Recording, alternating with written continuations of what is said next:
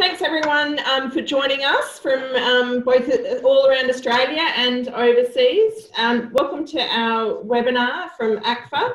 Um, this was a couple of the presentations that we were hoping to present in South Australia at our conference in August. So um, unfortunately, due to COVID, which seems to have messed up everything this year, we weren't able to do that. So we thought it was a good opportunity to share a couple of the presentations with you um, and uh, then um, hopefully next year we'll be in a position that we're able to run the conference again. So first we're going to start with um, Charlie French from Forbes in New South Wales and Charlie farms um, with his family and his cropping and also irrigated cropping and um, dryland cropping. So I'll hand it over to Charlie and he can explain a little bit more about your farming, uh, his farming system. And um, as you go, you are welcome to answer or we'll give you or ask questions and you can use the chat function if you like. Otherwise, we'll um, give time for questions at the end of the presentation. All right, Charlie, over to you. Righto. Um, you can hear me, Bindi? Yep, all good. It's not, Yep. Righto. So, yeah, thanks everyone for joining. Hopefully you uh, pick something up here. It's probably all that you've heard before, but anyway, um, some of the greatest things I've learned and heard of from yeah talking to other farmers and, and things like that. So hopefully there's maybe one bit of information that you uh, find in yeah find good or whatever you might be able to use at your place. So I'm yeah 26 years old. Um, I farm with my parents um, at Forbes in central New South Wales. I've got a brother and a sister who are both in uh, non-ag related industries in Sydney. So they got the brains, but I've got the passion, I'd say. Um, we're 65 k's from town, um, from Forbes, Condo and West Wyalong. So we're sort of in the, the centre of, of a triangle there. Um, so that in its own is a bit of a challenge being so far from town uh, in terms of parts and stuff and all those things. Um, away from the farm, I play rugby, and that's yeah, sort of my two passions are rugby and farming. Um, as Bindi said, we grow uh, winter dryland cereals and pulses. Um, and when water's available, we grow irrigated popcorn in the summer. Uh, we've also got a herd of Angus Hereford cross cows. Uh, my passion is definitely the uh, winter cropping, um, and it sort of yeah always has been. Uh, we've got a range of soils, some uh, sandy red loams, which are our probably most productive, uh, into some red mileish clays, um, and then some heavy grey clay on the edge of a floodplain. Um, so hopefully this will change slides for what we do. Sorry, yeah, and there's just a few images along the way. Some an irrigation field, some cows, and then some uh, harvesting, CTF unloading on the go. Um, sort of the pinnacle for me. Making that all happen was was pretty awesome so yeah, why CTF? Uh, so I don't think I mentioned, but I did agribusiness at UNE and sort of learned a lot of facts and, and all that about agriculture. And the fact that 90% of compaction occurs in the first uh, pass really um, set the alarm bells off um, for me. And that was a big one. Like, yeah, if, if that's happening in the first pass, we need to just traffic a certain area that the paddock um, the gains made, it just, it just sort of makes sense, giving the, the plants the best chance of survival and growing um, to their ability, where it's sort of in a marginal area, you would say, with rainfall. So giving it um, the best chance it has, I think, is very important. Um, so, yeah, a few years back now, maybe five or six or seven, I guess it was, we um, sort of changed our farming program a bit. We used to, our rotation used to be a, wheat, um, canola, barley, wheat, and then it'd go into a lucerne pasture for five years.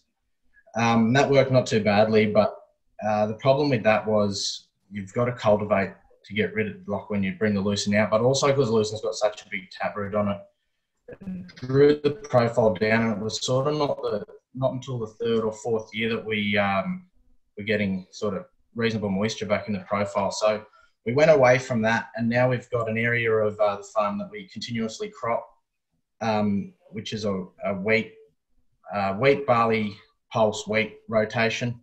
Um, and then and then the other area, the, the less arable soils and a bit of hilly timbered country, we uh, run the cattle on and we improve those pastures just to get out the best sort of bang for our buck and, and grow some healthy big cattle is the plan there.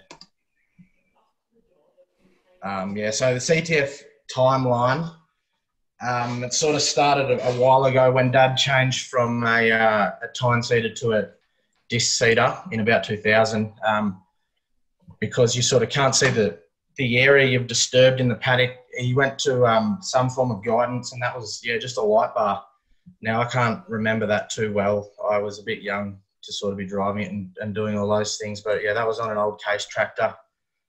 Um, that's old Steiger thing. And then, yeah, we upgraded the header in, in 2003 and um, it, we didn't have guidance on that to start with, but we had 36 foot front, the same as the planter. So we were, so we we're matching up there, um, which was, I guess, a step in the right direction. In, yeah, in 2005, we updated the tractor um, and got the Auto Farm guidance, uh, which is still an amazing product. And back then, I think two centimeter repeatable RTK was a thing, was well and truly uh, before its time. We put the, the auto steer on the header then, um, so that lined all that up and that was working quite well. Uh, we then, yeah, decided to get rid of the header um, just for a few reasons, but the biggest one was staffing. Uh, when we were irrigating, we needed a crew, a massive crew, and it was becoming quite difficult to do. So we got a contractor who's we're still using him, and he's fantastic. Um, and yeah, so 12 meter front, so that threw that out a bit. We had a bit of a phase where we went off, but anyway, um, 2013 we, we went to Trimble Guidance, which we're still using and, and very happy with. Um, and then in 2014, it sort of all happened. We uh, had been using a, a contractor for spraying um, and, and had used the same guy for like dad started with him, but he retired. So yeah, time to buy a sprayer. We did that. Um, yeah, 36 meter, updated the planter and put the tractor that was pulling it on three meter wheel centers. So I guess 2014 was when it all happened. Um, yeah, sorry. In that that first spray was 36 meter uh, the boom was factory made, so we had to just plumb some extra nozzles onto the end. Um, not sure how that went for uh, even rates and all that sort of stuff. I was still at union, wasn't too involved then, but anyway, it worked. Uh, yeah, 2017 we updated a tractor and uh, got a road tracker case Steiger on on three meter centers and tracks. Um, so that was awesome. It's a nice tractor, and then um, yeah, got the chaser bin on the tram lines with the uh, cases, extended auger, and, and all that sort of stuff. And then in 2018, we updated the sprayer again and um, yeah, got a, a Pommier aluminium boom, which is 36.6 meters, so it all fits perfectly. And that's just sort of a few images there. That that header and chaser bin unloading off the tram lines um, in the early days but that's yeah, it's all a compromise, and and um, I'm glad that we've got over that, and it's been pretty happy with where we are now. That's just the sprayer and and then a um, a tractor and planter. Uh, that was the first year with that planter and that old blue tractor on three meter wheel centers. Um, so we're in a, yeah, as I said, a pretty variable climate. Um, rainfall, I'd like to think, is our most limiting factor year in, year out. Um, as you can see there, there's huge variability in 2000 and uh, that was in 2019 yeah 100 193 mils and then year to date today um, we're nearly yeah we're about 497 so huge difference but with rain being the limiting factor um, stubble retention's key and making every drop count i guess so yeah getting as much infiltrated and stored in the profile as we can um, and yeah, you having the, the CTF lines, so we're not compacting the rest of the arable area and, and all those sorts of things. CTF just sort of makes sense. Um, a few challenges, as you can see there, that photo, I was uh, a pre-plant knockdown and the front wheels have stayed up on the tram line and the back wheels actually slipped off and I uh, got stuck.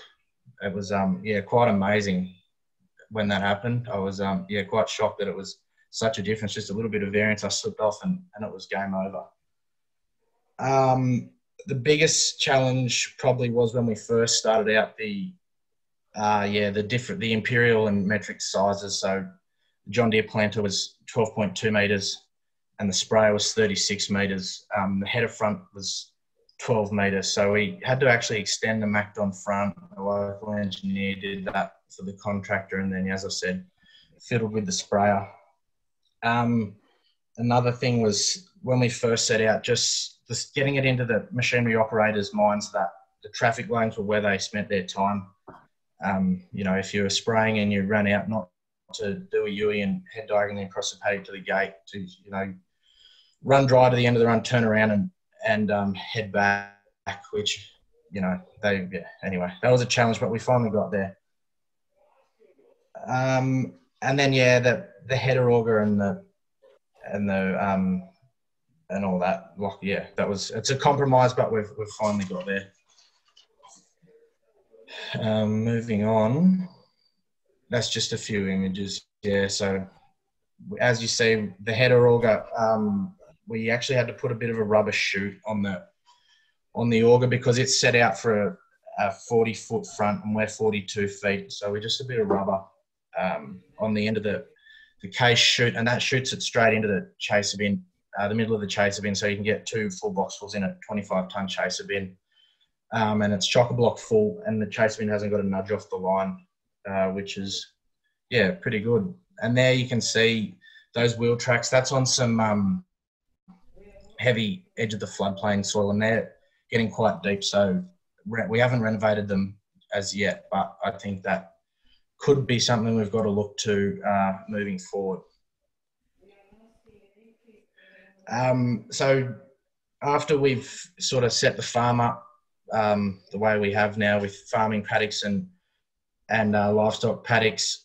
We um, yeah really wanted to make things as efficient as we can. So we've set up a nurse trailer for spraying, um, which is fantastic. Sort of day in day out, we can average about 60 hectares an hour with filling in the sprayer. So we're uh, getting lots of country done, which is good. Um, before that, we'd we'd finish, be empty, fold the wings and head back to two uh, central points on the farm um, to fill up just at big water tanks. And you were sort of losing an hour each from from wings in to wings out was an hour. So now we're 12 to 15 minutes and we're going again which is um yeah huge gain and, and money really well spent. Um, another thing after a, a, trip to WA with our agronomist in 2017 we saw um, a couple of these tornado seed and fertilizer trailers. And we'd always uh, thought we needed something a bit better. Um, we just used a, a, rigid truck with a tipping tray and a divider in it and used that for years. And look, it worked fine. It was a bit slow and, and constantly needed filling up. Um, we saw these tornadoes and sort of fell in love with them. And yeah, we, we bought one of them and it's um, the greatest piece of machinery build, I think. It's so good. It's quick, it's easy and it's almost idiot proof. It's safe. Um, there's no risk of tipping it over in a paddock. Uh, so yeah, that's um, that's pretty good. Pretty happy with that, and it doubles at harvest time. We can use it for carting grain both on farm and, and into the into the town silos. So the perfect paddock, you also you often um, yeah get this question: What's the perfect paddock? How would you set it up? Um, yeah, so we've we've tried to build 12 metre roads um, where we can evenly space for our average yield. So the chaser bins um, unloading back to the road on either end and can dump and go as quick as they can get back to the header. So we chose 12 metres because that's just about the size of the planter, but also we can fit the chaser bin, the mother bin, and a truck on the road all at one time. Um, we're not driving on stubbles or or anything like that. So yeah, our average wheat yield's about um, 2.7 tonne of the hectare. So we've worked on the the area to do an up and an up and back, and then but yeah, the, the amount of grain in the bin. Um, we've got a yeah, carrying on with the perfect paddock. We've got three lines saved in our in our auto steer. So we've got the master line that the sprayer, uh, the spreader, and the harvester run on and then there's a line which is seven and a half centimeters shifted to the left or the right either side in the planter. And we go sort of yeah in in one in every three years you can understand we're on on either line. And that's just so we can um, get a get a nice interrow uh, put the planter evenly in the interrow and um, interrow so nicely, but we're not yet moving too far off the line. Um, moving forward, I'm not sure whether a hydraulic drawbar isn't the go, um, just to keep the tractor dead set on the master line. But at the moment, we're doing that, and it seems to be working not too badly. Um, we've, as I said before, we've got some heavy timbered country, and um, with that, it's got some benefits, but it's also a bit unarable. But one of the real benefits is because there's so many trees. the, the local land services in New South Wales have approved us to take the, scat, the scattered paddock timber. So um, that'll yeah leads to the perfect paddock. I think we're, we're efficient. Uh, we haven't got areas affected by moisture stress due to trees, and um, yeah, all those things. Oh, and that yeah, the fence line. Sorry, I'm going backwards here a bit, but yeah, changing the boundaries and the fences. So we've got, pardon me, a one meter gap between the edge of the the field and the fence so we can get down there with a four wheel bike and, and spray it and keep fence lines clean and, and all those things. Yeah, so so if we're starting fresh, um, which we did uh, in a few paddocks last year, and I think someone that's listening in actually did some contract spreading for us. But so we clean up the paddocks, take the timber that we're allowed to, and then we um, variable rate lime. So we have a, a soil test every one every two hectares, to create a, a VR map.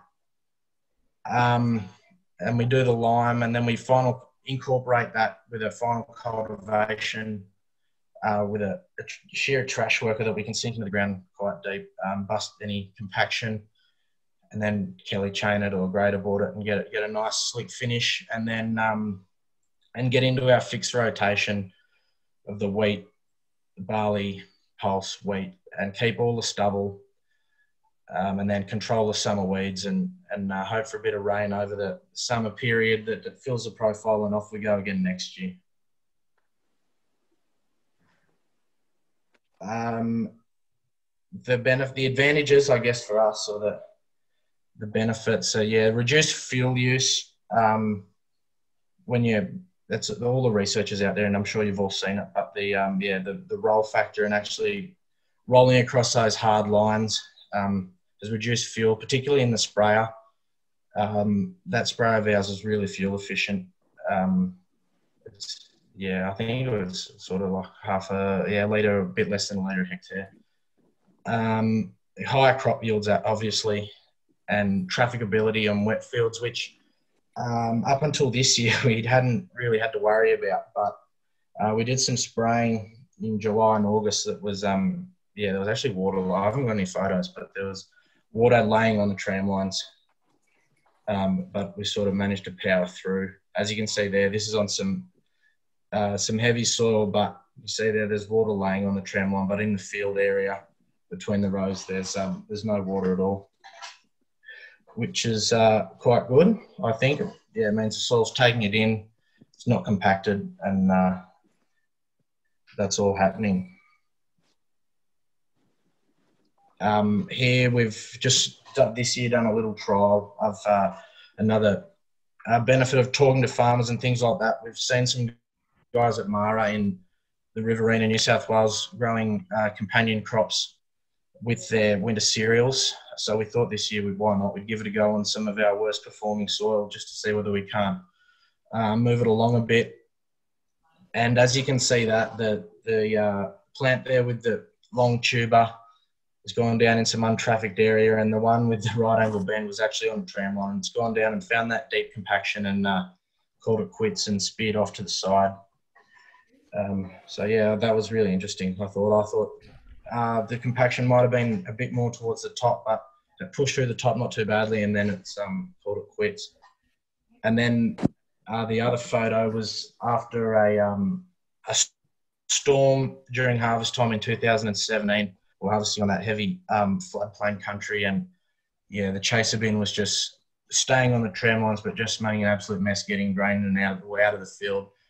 So that's a challenge, but uh, but I'm glad it happened on the tram line rather than across the paddock. We just had to run over that with a plough and, and sort of fill it in.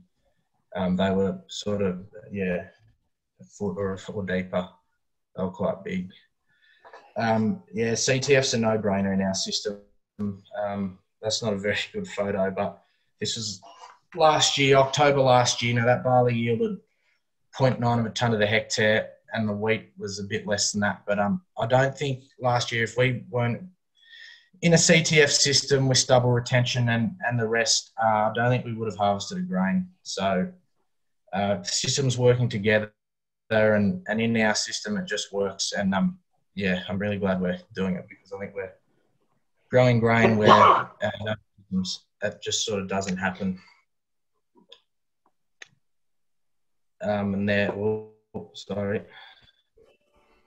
Yeah, so there's some interrow sowing and um, that's uh, we grew yeah we've, we've actually scrapped canola from our rotation, but that's some narrow windrow burning in canola, which also works with CTF. Um, that was really good. There was a bit of ryegrass in that and some other weeds, and um, and with the disc seeder, we found we had trouble uh, seeding at an even depth into canola trash that wasn't spread evenly. So we found the best thing was to put it in the ground burn it. Um, so yeah, agric- uh, agricultural technologies being passed around that are, that are helping everyone that takes them on. Uh, so what's next for us? Um, this year we've got a stripper front coming, um, as well as a chaff deck. So I'm really excited about the stripper front and what it might do for us. Uh, all the research is there that it's going to uh, conserve more moisture and, and, give us more opportunities um, so yeah, pumped about that. It's been a long time coming. Well, not so much a long time coming, but a conversation started many years ago with um, some local farmers and some some guys um, in a different area that are pretty switched on dudes, and we've worked away and we finally got it uh, for this year. We're also going to put a chaff deck on the header. Um, there was a bit of ryegrass that has popped up yet this year that we hadn't seen before. So we'll put that on there and uh, try and yeah neutralize that to one area, which I think is important. If you're sort of in front of the, the eight ball and those sort of things, it's better than, than being reactive. Um, and just everything to give its yeah give the plant the best opportunity. Um, I'd like to give a, an optical sprayer a, a, go and maybe a demo just to see how they work in the strip of stubble. Um, I don't think it's going to be too far and some problem weeds like feather top Rhodes and things like that'll be on our doorstep. So that's all challenges that no doubt will come in the future. But if we are aware of them and and um, sort of setting ourselves up, I think we can take them on a bit better. So thanks for that. Hopefully it didn't bore you too much. No, it was great. Thanks, Charlie. Some good um, practical tips and things you've been doing. Are there any questions from everybody else?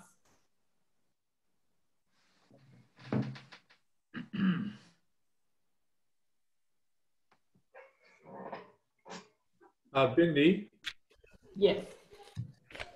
Yeah, just, just a quick question for Charlie. Um, um, just as a bit of a, a comparison um, for him, um, I, I, know it's a bit hard, but if he if he speaks to his neighbours, if they are on controlled traffic, has he noticed the differences in crops uh, over the fence um, if they're not on CTF compared to his?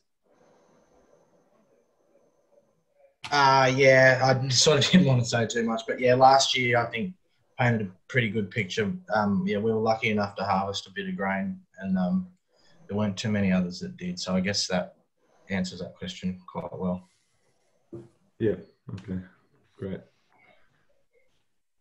Uh, Charlie, it's Nigel Wilhelm from South Australia. Thanks for the presentation. Great job. A question for you: If if you were faced a situation where you had to harvest in a different direction or something to capture a, a lodge crop, what's your reaction to that versus being um, a slave to the CTF lines? Uh, that's a tough one, and I'm, I'm not sure really how I would go about that. Hopefully, I never would, but I guess it's a, a challenge that's, that could happen. Um, yeah, I'm not sure. I don't know whether 45 degrees might be the best over 90 just because 90 would be very rough um, heading over the like yeah, yeah, crossing the tram lines even though they're not too deep they are a little bit deep and with machinery bounce and things like that 45 probably would be better than 90 okay thanks What was your rainfall for last year there, Charlie, to get those 0.8, 0.9 tonne crops? Uh, 193 mils, is it? With 30, I should have had 30 mils um, growing season. Wow. Yeah, it's unbelievable. Yeah, that is unbelievable. Charlie, I had a question um, about your sprayer uh, setup there with the nurse tag. Is that something you designed yourself, or is that something you saw somewhere and you replicated it? Yeah, so we when we um, did our trip to WA in 2017 with um, Chris Baker and his clients, our agronomists, we saw several nurse setups. Um, the take-home one was Mark Wandell's. Anyone who's seen that, it's just it's next level. It's amazing. So we uh, replicated that where we could, and um, just tinkered with a few things that were going to yeah suit us the best. Yeah, thanks.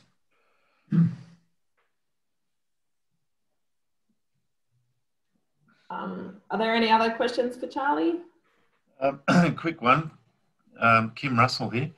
Thanks for your presentation, Charlie. It was great. When you mentioned the uh, hydraulic drawbar, I presume that would give you lateral move to keep things in track. Yes, that's right. So they call them a pro tracker, and it's steered by guidance on the bar, um, and so the the tractor would stay on the on the master line, and then the bar move laterally um, either way to be yeah to be that constant seven and a half centimeters off the um, off the previous year's plant line. So thank you very much.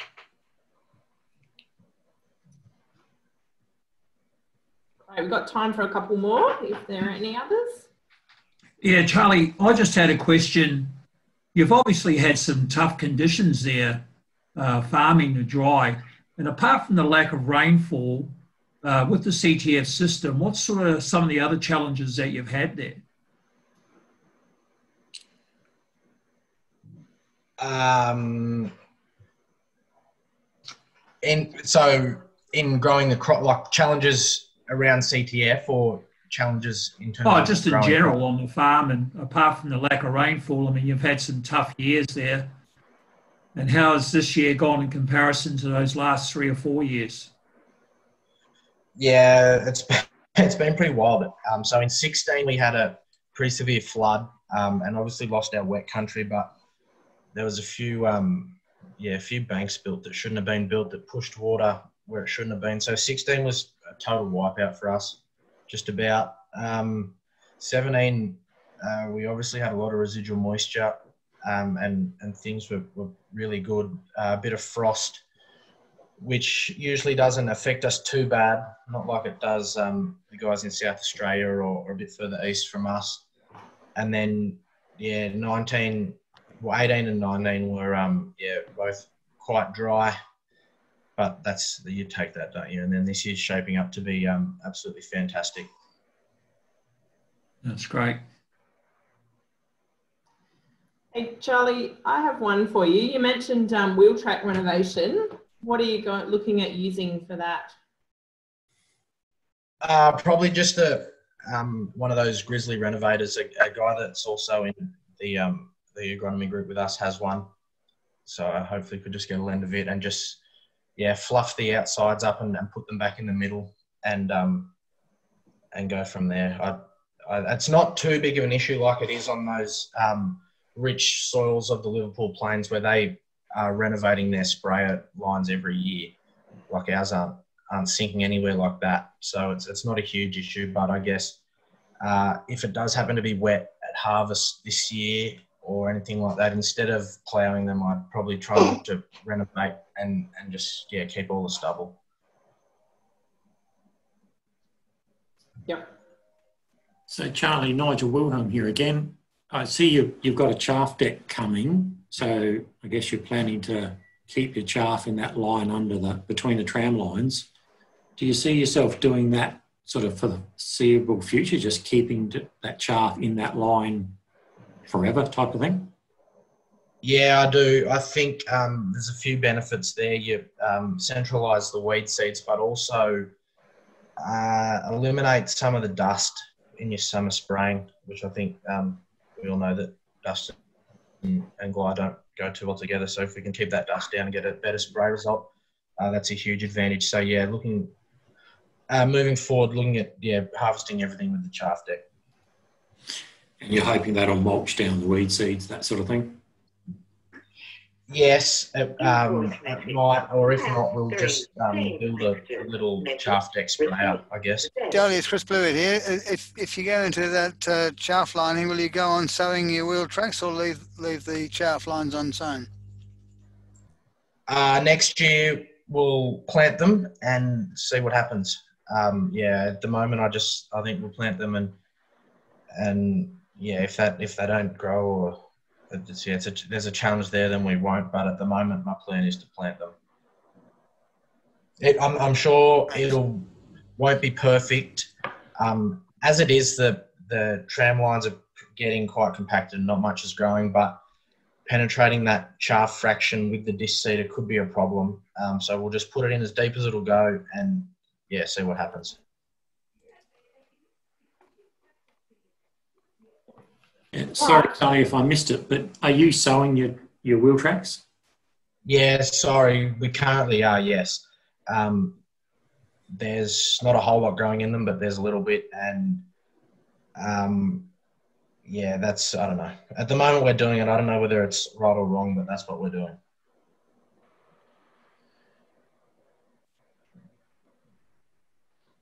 Right, great. I think um, thanks very much, Charlie, for that excellent presentation. And you've got lots of good questions there. Um, Can you sneak one in, Bindi? uh, just because it's you, Luke, yes. What are they going to yield this year? Um, I don't know. I don't know. I think if we could, if we could average five ton of the hectare a little bit more, that'd be um, amazing. We'll have some do better than that, and probably some do worse. But yeah, I think yeah, if we can do five or a bit better, that'd be a great result.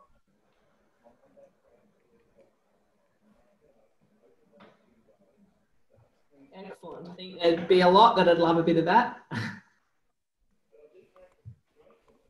All right, thanks very much, Charlie. If you'd like to end sharing your screen and we'll change the next topic now.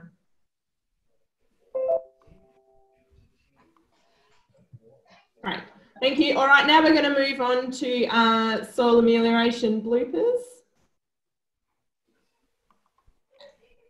And um, this is me. So um, I don't know if you know what the definition of a blooper is, but the definition of a blooper is an embarrassing um, mistake.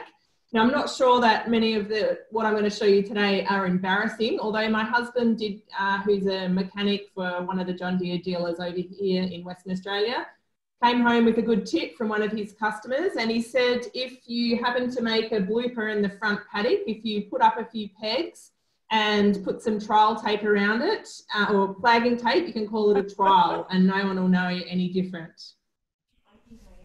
So um, that's something uh, you can keep in mind when you have a blooper that happens in the front paddock.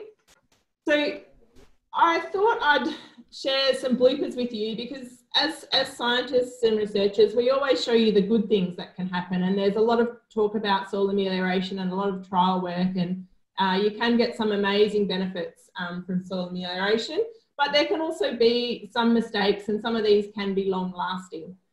So what I've put together is a collection of bloopers and experiences from um, farmers and researchers in Western Australia um, that we've collected as part of our uh, GRDC funded projects that we've been working on for the last five years. So for those of you who don't know who I am, um, my name is Bindi Isbister. I'm a research scientist based in Geraldton in Western Australia. And I worked predominantly on soil um, compaction and soil management and more recently um, into sort of more broader soil amelioration practices. So let's get started. Now this is, because it's a bloopers, uh, it is a bit of a show reel. So some things I'm going to go through um, quickly and other things we're going to um, pause on and talk a little bit more in detail. So let's get started. Now, that, as we go through, I want you to keep in mind three things uh, that you need to know before you, or keep in mind when you embark on soil amelioration. The first one, you need to know your soil profile. So you need to have an understanding of what soil you're actually going to be mixing um, or, or turning up. Um, the second one is ameliorate to the conditions, not the calendar. So it is a bit tempting um, when you've got time in autumn and the tractors aren't being used to get in there and do some spading and in um, moldboarding, but there is a really high risk of erosion. So you need to um, keep that in mind and wait till conditions are right. And the other one is, if in doubt, leave it out. So make sure as you go, you're checking what you're doing um, and not looking right. We recommend stopping um, and waiting because the mistakes you can make can last for a long time. So the first blooper off the list is be careful um, with pre-emergent herbicides post-amelioration. So, and this is particularly a problem with soil inversion, with moldboard ploughing and um, spading, because you reduce the amount of soil organic matter, and I guess I'm particularly talking about sandy soils here, and it just makes the um, pre-emergent herbicides work more effectively. So quite a bit of work being done on this, and I suggest if you have any more questions about that, you can contact Tim, um, oh, Tom Edwards down in Esperance with Department of Primary Industries, and um, he can fill you in on some of the work that he's doing. The next one is moldboarding can turn up acid soil. So it's quite common with moldboard ploughing that you might apply lime at, on the surface and then plough um, the soil and tip it up. And what you can find is you'll see on the picture there, you can see that the, the plough's inverted the soil and you've got this nice layer of lime um, and topsoil. And on the surface, they've come back and applied some lime post ploughing. But what has happened is it's left this acidic layer um, in, the, in the middle. So, and that's actually slowed the crop down and has been able to grow as well. So keeping this in mind, um, you need to understand what the acid profile is. So not just at the surface, but you need to understand at least down to 50 centimetres um, and or just below the depth that you're actually ploughing. And in some this in this case, if you have an acidic profile all the way down, perhaps moldboard ploughing isn't actually the best option. You might be better with spading or something that'll give you a bit more mixing to um, incorporate the lime. And this is another lesson one of the farmers up here um, learnt this year that generally when they spade, they apply lime out in front of the spading and then mix it. But this year at the end of seeding, um, when they start their seeding program, they were getting a bit tired and they didn't have, or they ran out of time to put some lime on.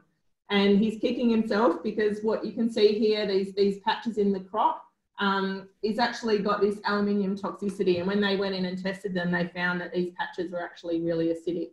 So he's learnt his lesson for next year um, to remember to apply or to make the effort and apply the lime first.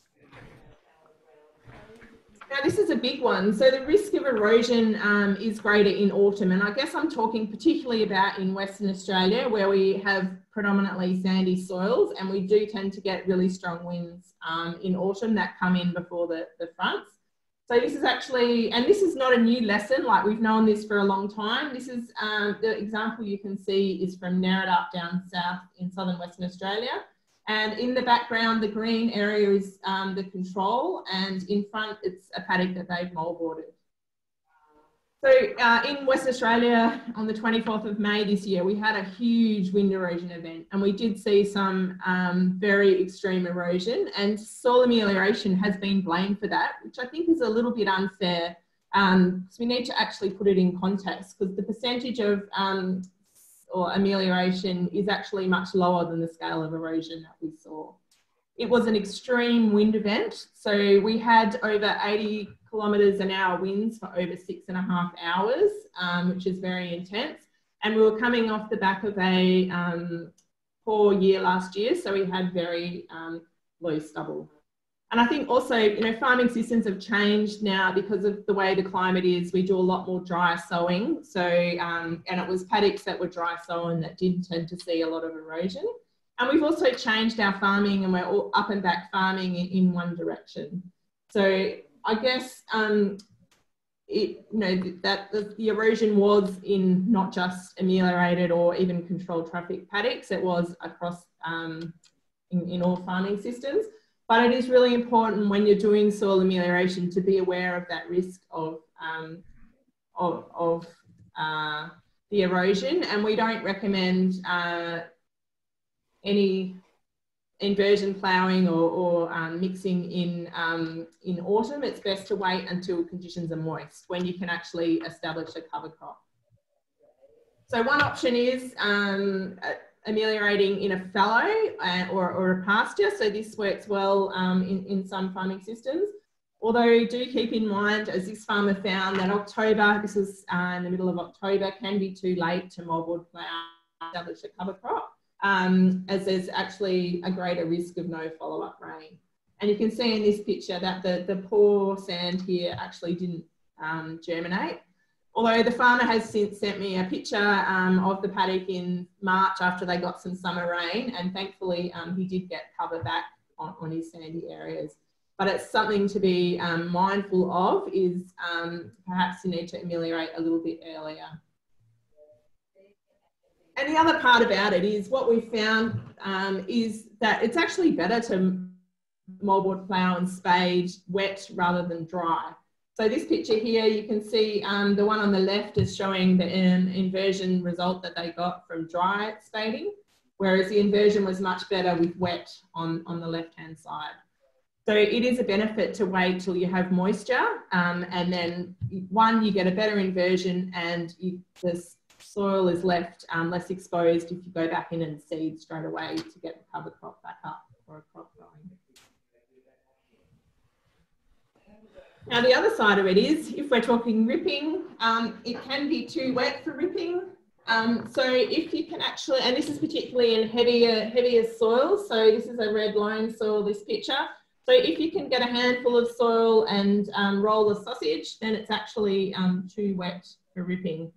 And this is what happens then is rather than um, shatter, the tines shattering, they just um, smear and leave a slot, which um, isn't real. It's making a channel through the soil, but it's not really busting up that compaction layer. Uh, we've also found um, in Western Australia that there's really little benefit to, to deep ripping our heavier soil types. So here, um, this one was a sodic dispersive calcareous earth, and this pictures you can see here were from deep ripping um, in, I think it was in early March, and it was really cloddy. So you can see this, the bar's actually got a picture of some topsoil um, inclusion plates, which it just was too hard to pull. So they had to take, um, take them off because they just couldn't get them in the ground.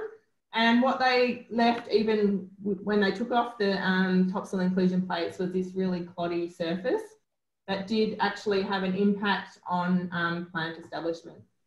So this trial uh, had different depths of ripping um, and it was quite shallow to 300. In this um, instance, they actually had to do two passes just to be able to get the tines into down to 300 deep. Initially, they were trying to get down to 500 mils. And they also applied some gypsum so there was an impact on plant establishment um, with the, the ripping, so it reduced the plant establishment. Um, the yield in 2008 and 2019, the yield did recover, but there's actually no difference between whether it was ripped or unripped or plus and minus gypsum. Um, it was quite two very dry years as well, um, the return on investment there, if we calculate it out, shows a negative um, return on investment from ripping and gypsum. So we haven't seen many trials where in these um, our heavy or loam, we call them heavy loam soils, but they're not compared to soils like Charlie has. Um, there's, there's little benefit to deep ripping. And that's um, quite understandable because a, a, loam or a clay soil can ha has a higher plant available water capacity. So they store more water up in the top um, 10 to 20 or 30 centimetres as opposed to a sand where to be able to get um, more water, the plant roots need to be able to get deeper um, to access the water. So bloopers commonly occur when the treatment's not applicable for all soil types in a paddock, and that's particularly uh, the duplex soils and more variable soils. So this is quite common in Western Australia in down south um, where we have more complex soils and multiple soils within a paddock.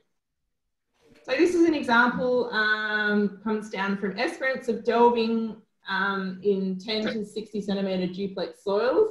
Uh, with delving, you can actually bring up too much clay. And that's not good if it's a sodic saline clay and high in boron. So um, you can see down here that the um, sodium percentages are quite high and the boron levels um, are quite high, um, which has actually been a problem in this soil. So the farmer, um, this was done 10 years ago and the farmer has actually seen like a detriment to the delving in this case, so 10 years after treatment. So this is a picture, um, what he saw from the header last year. And um, in the middle, this is just left undelved um, and either side was delved. So um, because they had such uh, brought up such heavy clumps and things, they did actually spade the whole paddock. So the um, yield results I'm going to show you are not actually a difference between delved or undelved. They're a difference between delved and spading or delved. The whole treatment cost that ended up after he delved it and put gypsum and cultivated it 10 times to try and get out of the um, clumps was about $500 um, so this um, penalty that he's seeing is actually not across the whole paddock. This is a picture of um, his yield map um, from last year. And you can see um, along here, it's his, where he's left his delve strip. So we've got um, delved, sorry, the not delved strip in the middle and the delved either side. And I've actually split it into two zones. So zone one is this shallow duplex and you can see there's a yield penalty um, in the delved strip. So where that clay was much closer to the surface. And zone two is a deeper sandy duplex. So there was more sand um, on top of the clay. And what it, what it shows um, when we plot the yield response in tonnes per hectare versus um, you can see on the other side is the rainfall. So the yellow line is the rainfall. But in dry seasons, there's been actually a penalty of the delving. So what's happened by bringing up too much clay, he's essentially turned the, um, the, the, soil into one of his heavier soils that does perform poorly um, in a dry year when it doesn't get enough moisture. So in um, 2011 and 2019, there was a 50 and 30% yield penalty from that, the delving. So if we have a look um, at that return on investment, so if the delving versus no delving, remembering that the whole paddock was actually um, um, you can see that, so the, the um, zone one is the dark blue, which was that shallow duplex, and zone two is that, that deeper duplex, so there is more of a benefit. Um, it, we actually um, lost money from the delving. So it was an expensive exercise and um, in, in this case, um, it wasn't worth the delving. And in fact, he's made a bigger problem for himself now because the, um, it's much more inconsistent yielding in some areas. So what are some of the solutions to perhaps avoid this blooper is uh, bring up less clay, so don't dig as deep, or perhaps just the spading was in fact um, a safer option because you're not bringing up so much from underneath. So you could um, you could ameliorate this paddock by zone. So zone out those shallower, nasty duplexes.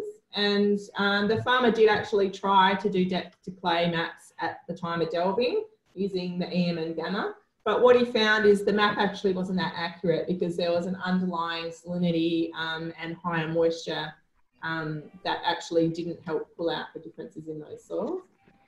Um, I think one thing that we could try would be to use compare the yield or biomass um, in dry versus a wet season, and perhaps that might pick up some of those um, the soil the, the soil type difference.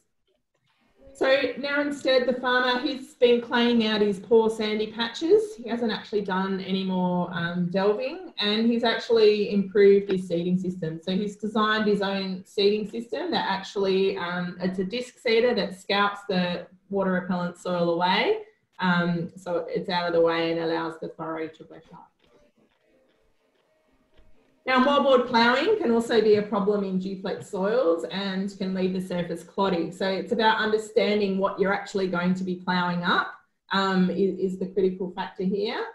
And these cloddy, um, these clods do actually impede emergence. So this is a, a trial done in 2013 down at Ravensthorpe by Derk Bakker uh, from Department of Agriculture. And you can see here that the moldboard ploughing the plants was 83 plants per metre squared compared to the control, which was 92 plants per square metre. This trial was a trial, a large scale demo, and it was run over two years. So the blue um, um, bars you can see here are the yield from 2013 and the um, orange ones are from 2014. And in 2013, there was no, actually in all of it, there was no significant difference in, in yield. Um, and in fact, the moldboarding and spading in 2013 was a penalty, which was due to those um, big odds that reduced the emergence. So there was a little bit of um, a recovery in the second year in 2014, and it looks, uh, you know, indicated that the moldboarding and spading did start to yield a bit more, but there was huge variability um, in the results. And part of that, um, so that the, distance, uh, the difference wasn't actually significant. And if we have a look at return on investment, so the cost of moldboard ploughing, in this case, we've um, used $120 and moldboarding and spading was 270 And there was actually a, a, return on investment over the two years for the moldboard ploughing and the moldboarding and spading, I guess it's a higher cost and we haven't seen the good benefit or the penalty. So there was also a range of different treatments for non-wetting soil to treat non-wetting soils in this trial. And one of the other ones was um, off-row seeding. And that um, actually had a positive return on investment. And I guess it's because it didn't lose the yield like the others. So after seven years, um, this is a picture of that same paddock and those clumps are still there. So they haven't actually broken down, even though it's been rolled every year since 2017 and it, uh, in 2014 and in 2017 they put a speed tiller over it. Um, the farmer said the lumps are smaller, now smaller than a fist, which I guess indicates that they were much bigger in the beginning. And it's still having um, a negative effect on the crop in places. So um, the solution, well, he also looked at zoning for depth to clay um, with the EM and the gamma, but what he's found is that the variability is much higher than the sampling resolution. So the sampling resolution was is about 24 metres swath width, but these patches of clay are actually much smaller than that, so they're not being um, picked up as easily. Um, he now also targets his um, sandy patches and clays those out. Uh, and he puts a minimum of 100 tonnes of clay on them for those patches. And he's gone to um, on row or, or, next to near row seeding um, using the iTill machine to, to inter-row seed. He's also just um, got a better distribution of nutrients and he's gone to a disc seeder um, as well to, uh, to place that seed more precisely. Right, so another one that seems kind of obvious um, that we've learned is that lime must be in contact with acid soil to be effective. Um, and I guess that is pretty obvious. Um, but what we found, you know, in the past, we've been applying lime um, historically on the surface and um, it will fix the top. But if you've got an acidic profile, it actually doesn't um, improve the pH to depth. It, it takes a long time. Um, so we have found that some kind of incorporation um, will speed that process up. Um, having said that, we do have a trial in the low rainfall area east of Geraldton, about 100 kilometres. That's an eight-year trial, and we have seen in that soil type, um, lower rainfall soil type, there has been a benefit just of applying lime um, without the incorporation. But the photos that you're looking at here are um, some work by Gaus Azam and Department of Agriculture on the GRDC funded soil acidity project.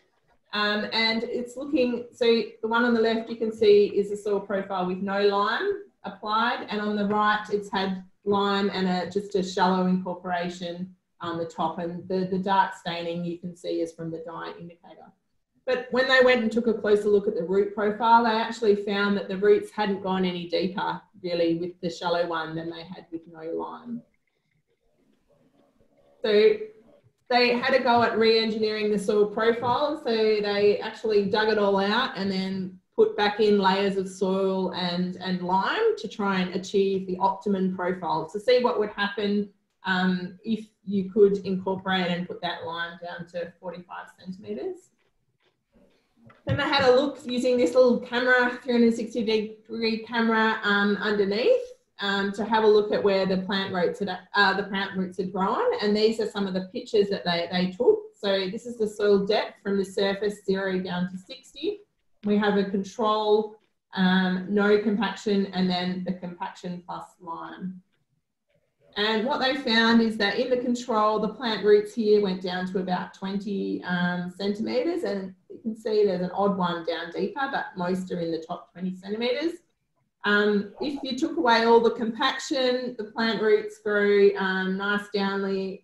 Uh, that, so this is without any lime. They actually grew um, down to about 60 centimetres.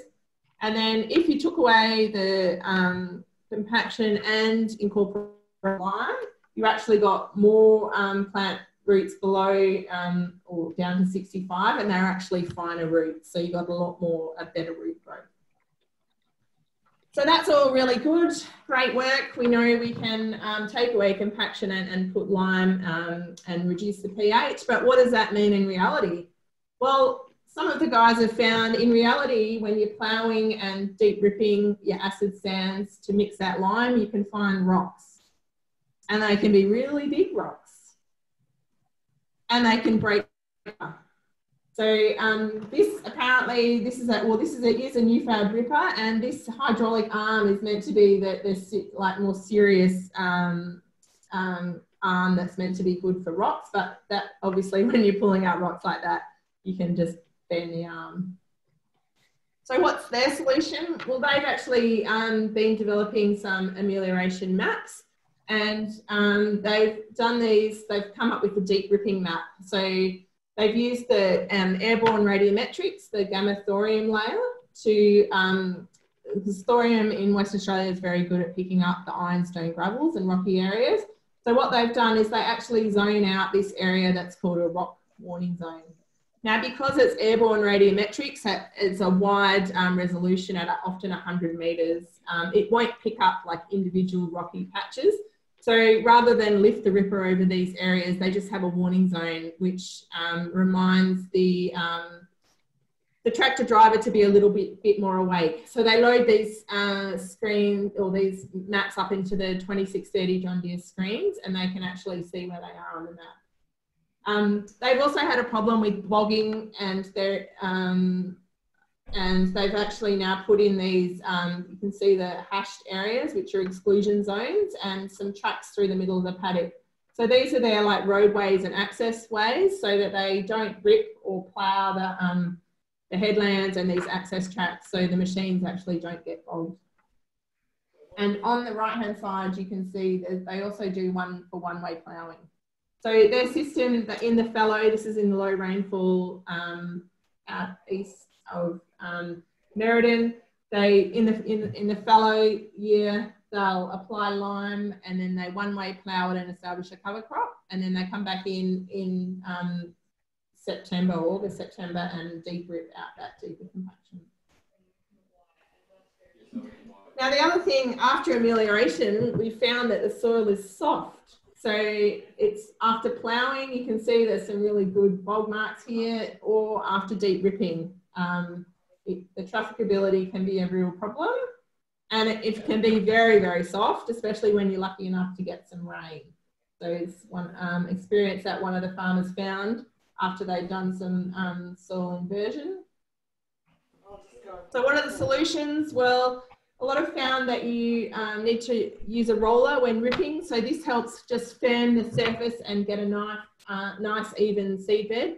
Now you do need to be a little bit careful with what roller you use. This is a nice, this flat roller works really well um, if you have really high stubble loads um, and good um, wheat straw, but risk of erosion can be a bit of a problem. So, um, you know, you might want to use a roller that's got some ridges. Um, some guys will not roll until just before they seed. They'll, they'll rip and then and roll it at the last minute.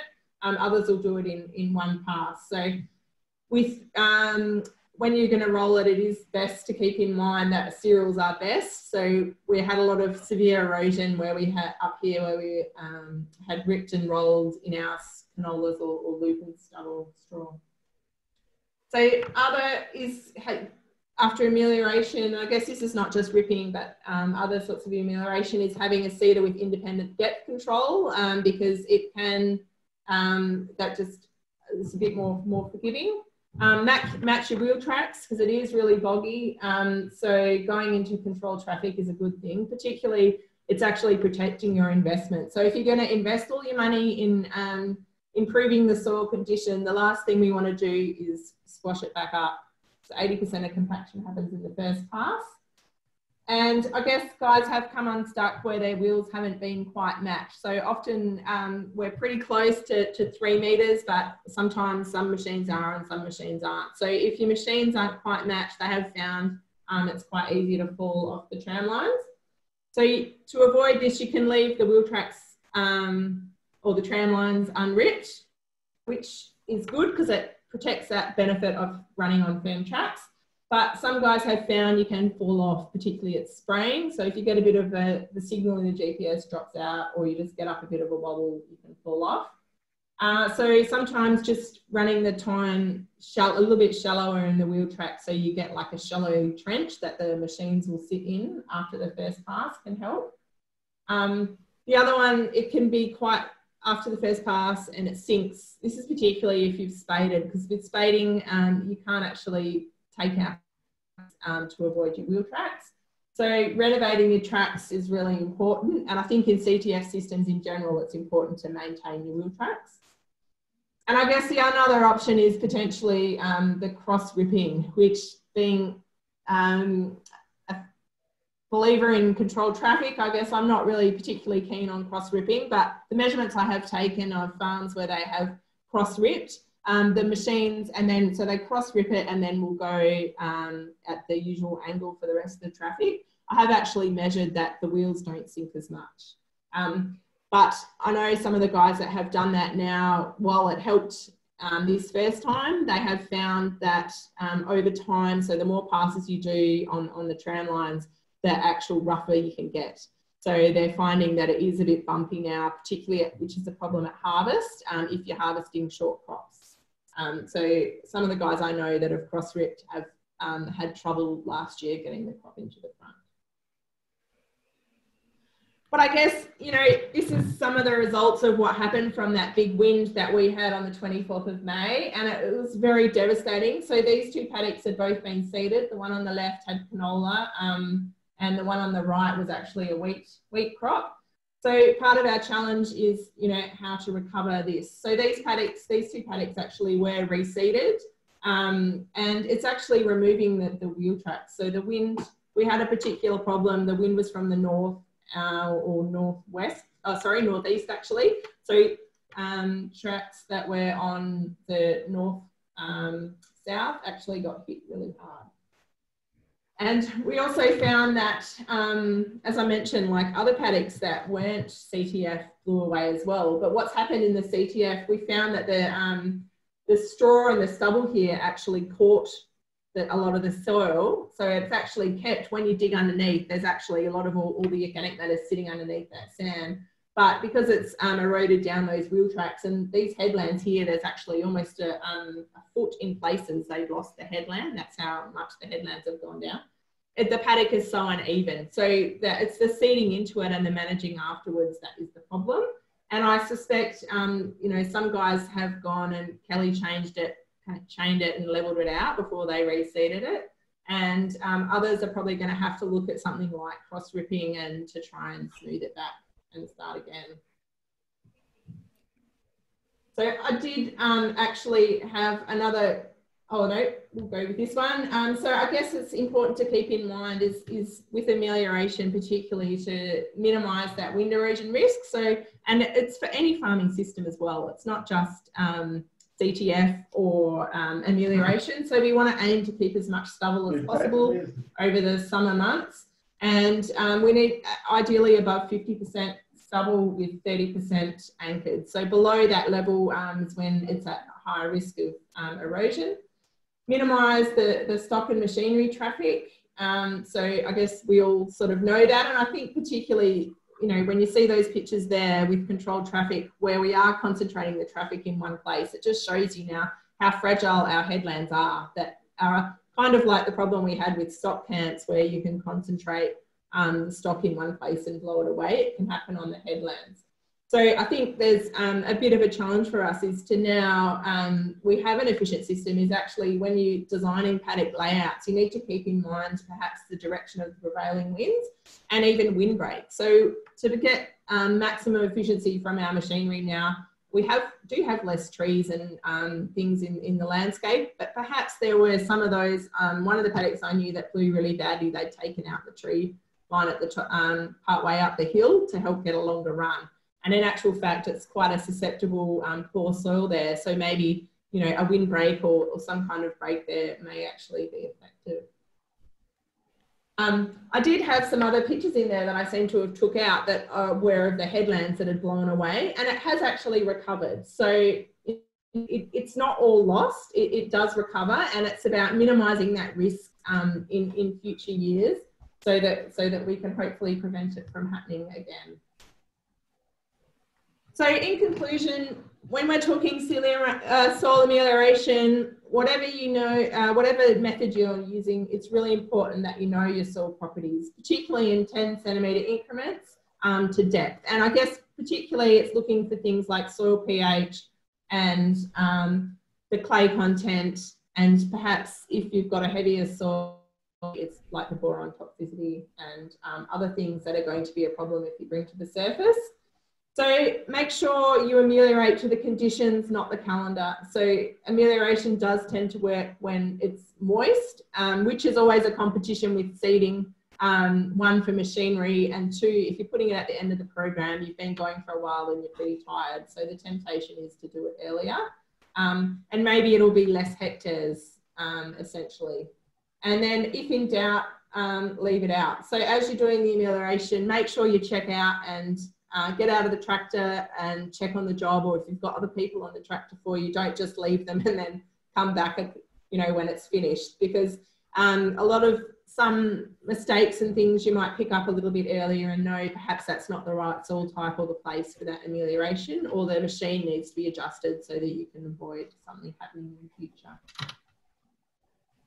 So thank you. I'd just like to acknowledge um, that this work has been put together by Department of uh, primary industries and GRDC um, projects. So our earlier soil constraints west projects and our new re-engineering soils and post amelioration projects. We've got a whole DPIRD team that's helped me and um, a long list of growers. So I thank the growers very much um, for letting me share with you um, some of their bloopers and I hope you've learnt some valuable lessons for undertaking amelioration in the future.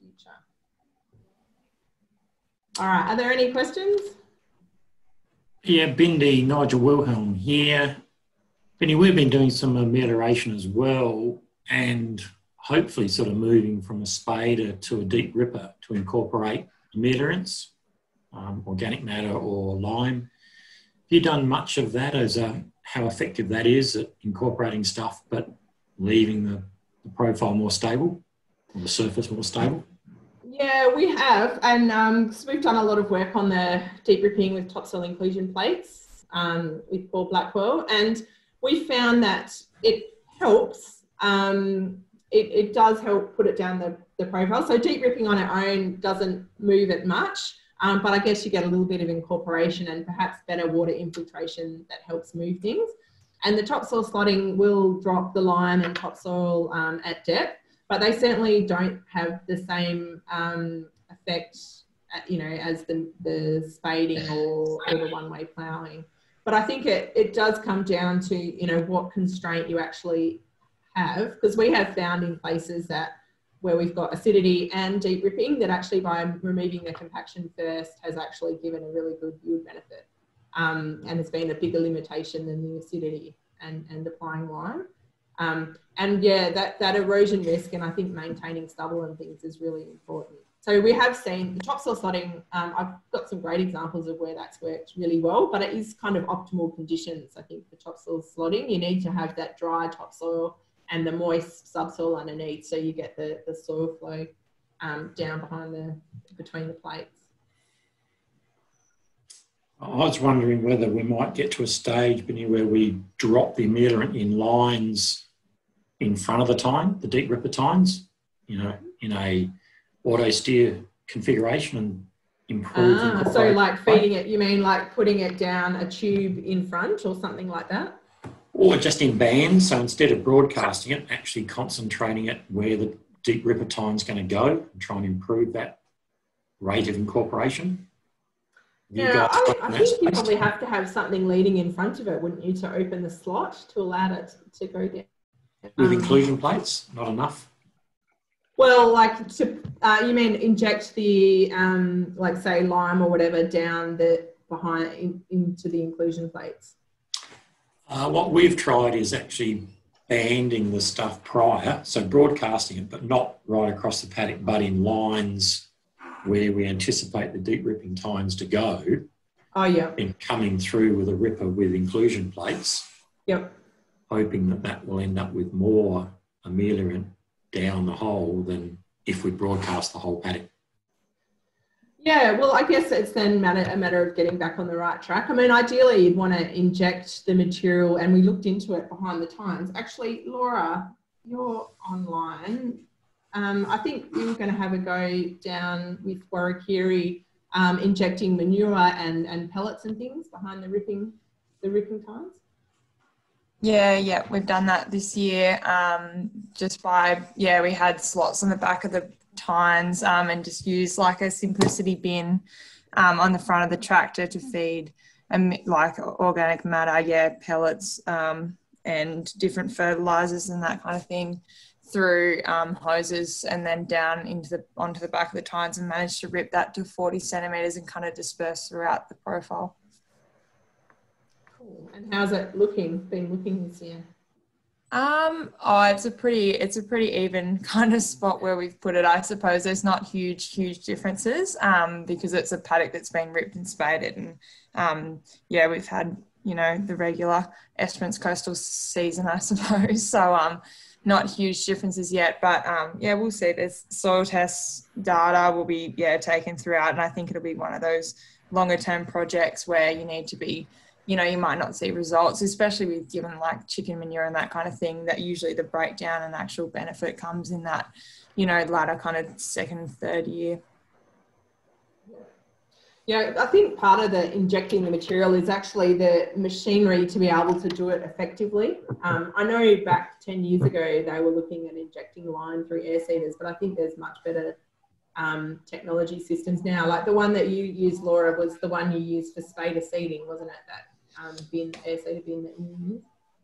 Yeah, yeah, yeah. So it was just the same as what we were using on the Spader Seeder, and then the Ripper was the department's Ripper. Um, yeah, it, it definitely. I mean, obviously, the a lot of the manure trials are based on broadacre spreading, and so that's one of the things in that I know a lot of the amelioration work done by Southern Farming Systems in Victoria found that they needed, you know, kind of five to seven ton a hectare of manure, and obviously that's you know that was brought out that was yeah we just can't you know you can't go over. I think our max was like maybe 300 kilos a hectare that we could actually get down without just completely blocking the system. So that is one of the hindrances is that you might not be able to get your product through your hoses and out of the uh, out of the bin i suppose.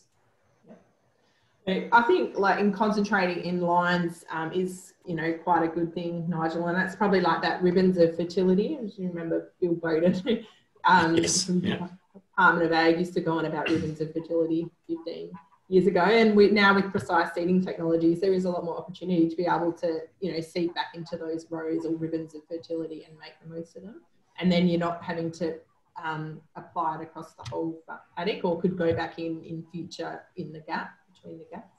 Yep.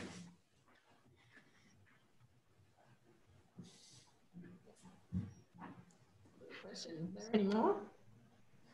I, I guess I've kind of got a question, Bindi, um, regarding your ripping on an angle and the roughness. Was that was that those the guys that are kind of ripping around the clock, um, different angles, and then is it or is it the first year after ripping on an angle that they found it was getting rougher as they trafficked it throughout the season? Yeah, it's actually the first year. So uh, guys up here, they needed the reason they did it was they actually need to renovate their tracks, so they're getting really deep spray tracks. So we don't tend to rotate our tracks so often over here in WA. They just use the same spraying tracks, and they were getting much deeper. And they just decided for 20,000 hectares, they didn't want to have another machine running um, in summer, so they tried the cross ripping. And also, what their problem so, unlike a lot of um, heavier soil wheel tracks in the sand, we're tending to get these big humps um, rather than in, in wet, it pushes up on the edge, and then the current renovators kind of just draw the soil back in and, and pack it back down. Whereas um, it, and that's a bit hard because you've sunk so much and they often you know they're some of the um, ruts are now 80 centimeters or more sort of wide. So that's why they cross ripped and yeah they, they actually so in the beginning they were really happy with it. They just go at like five degrees the rip off but then they said last year they found and, and they're also ripping really deep so down to 500 550 and they said basically the first two passes so seeding was fine but it was the ones that was sort of the spraying or last the last spray in the wet conditions that was starting to get rough again. So they were feeling every sort of ridge. And then the problem they had was at harvest. I think also because last year they were chasing really short lupin crops, and the that um, header front, which is the 40 foot platform, was just getting too much of a wobble. So they had to slow the speed right down um, to do it. So I guess they said, you know, they've compensated by slowing the speed down at harvest, but there's always a trade off, isn't there, between either their trade-off for not doing that extra renovation operation was they've had to slow down um, at harvest time to, to do that. So I don't think we've kind of found a good solution to that up here. I think someone needs to build a new track renovator for our sands.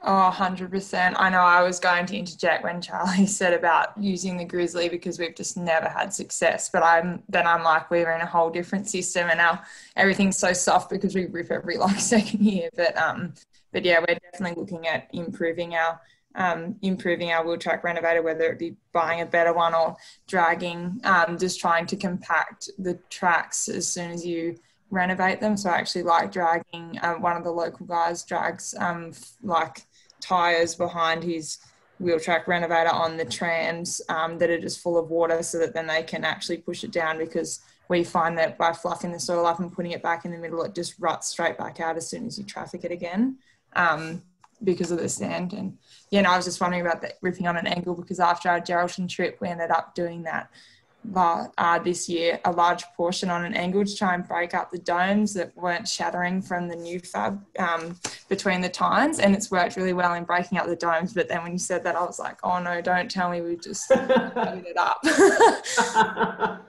well, it'll be interesting to see um, if you have the same problem. Um, yeah. I, I, think that packing down after that renovation is a really important point, and the I know the Grizzly ones haven't tended to work here in WA because they don't pack it down so much. So I think that um, you know they've added a few different things, and there's a couple of new ones on the market now that will draw in the soil and stubble and pack it, and having it um, a bit moist. I think too with the renovation, that's a bit of a key to pack down the stubble. And I saw up in Geraldton, because obviously this wind erosion's been a big factor. We had a field day and we went and saw some renovate a renovator that was with the K line um, renovator, and it actually did a really good job of packing um, the stubble in, and it had a chaff decks behind it. So having the chaff decks there and put a bit of extra organic matter um, has helped too. Um, and then I saw uh, the you know the next neighbours used a flat track renovator, and his were north south on a um, slope that faced north south in the sand, and his blew like buggery because they just um, renovated earlier, and then the wind came in, and it actually though it, it eroded down the side of the tracks because the renovator, um, the flat tracks packed the soil nicely, but it actually renovated in the gap between where the packed soil was from the renovator and the edge of the tram line where it was nice and soft, and that's the bit that actually blew out. Oh wow. Yeah. No, it was. I think intense. it's just kind of bad timing, you know, bad timing a little bit, like some of the erosion we saw on the south coast in 2017 with the, the water. Um, there was mm. a big mm-hmm. flood. That was the same, but some of the tracks that had just been renovated that, you know, that season, they were the ones that kind of eroded because they hadn't had a pass of traffic to pack them down. Yeah, yeah. it is a, it is a problem.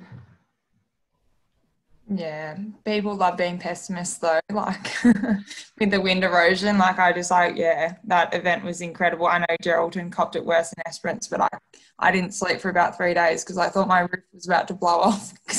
um, it was so bad. So um, yeah, anything, nothing was going to withstand it. But people love any excuse to hate on something. it was yeah, yeah, it was just a good reminder. I think that it's possible and, and it you know raises a lot of questions because before that first rain we do get lots of winds like that's quite typical of our farming system so it's something that we need to be you know keep in our minds. Yeah for sure. We found with renovating our track like a different soil type than that but we we renovate them before cereals because that's our lowest traffic crop um, during the season so we yep we generally renovate before before a cereal crop. It's normally only a spreader, a couple of spreader passes and a, one or two sprayer passes compared to a legume or canola where we're on them all the time. And we actually renovate them, then we just pack them back down. We drive the tractor back over them again. That's that's the heaviest thing we've got pretty much, and that just leaves a actual tread mark in them and packs them down. So it sort of does mean doing two passes for little hobby farmers, but then for us. Yep, that's a, a good point. What kind of renovator are you using, Luke? Blue one. The blue one. Grizzly. Grizzly. Charlie's Grizzly. Yeah.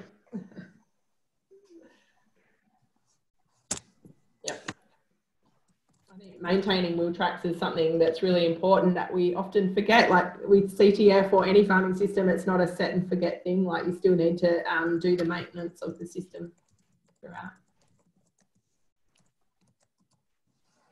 All right, is that it for questions?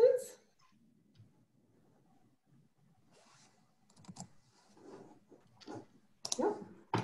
Great. Well, um, thank you very much, everyone, for joining in. I'd particularly like to thank um, Ping in Victoria for Nikki and Catherine um, for setting up the, the webinar. And um, it's great we've managed to work this time. We did have a bit of a fail last time, so it's wonderful to um, get the technology working.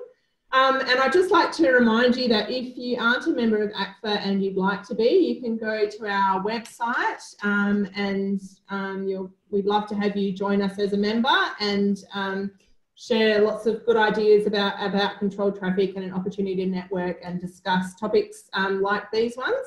Um, thanks very much, Charlie, for your fantastic presentation as well. It was great to hear what you're up to with your system.